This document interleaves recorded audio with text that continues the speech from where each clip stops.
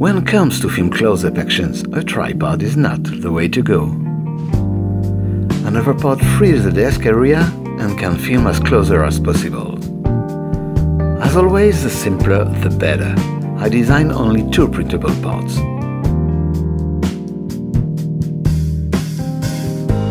I start with a printed post and an eccentric arm with its GoPro-like knob, a universal camera screw, a selfie stick and your camera mounting stuff.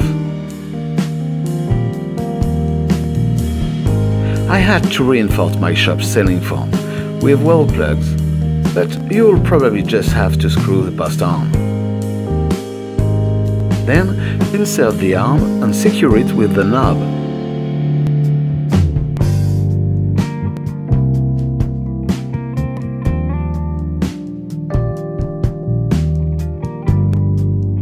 Install the selfie stick with the camera screw.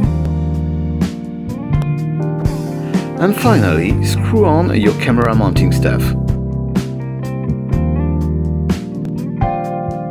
Simple as that. As always, printable parts are free.